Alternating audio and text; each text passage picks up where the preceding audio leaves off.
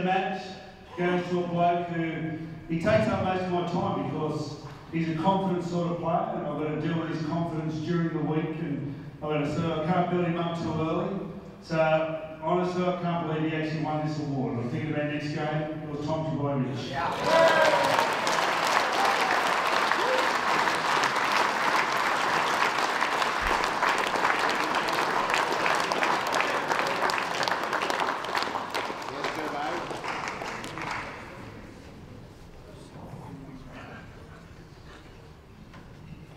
Uh, yeah, look, um, it was a really good week. You know, we had a lot of fun. Um, first of all, say thanks to Freddie. You know, um, haven't played much footy this year. We're very grateful for the opportunity. Um, yeah, look, you know, we played good footy tonight, and um, you know, we can't have a result, but not done now. So, as Gutho, King Gutho will say, next job on Sydney.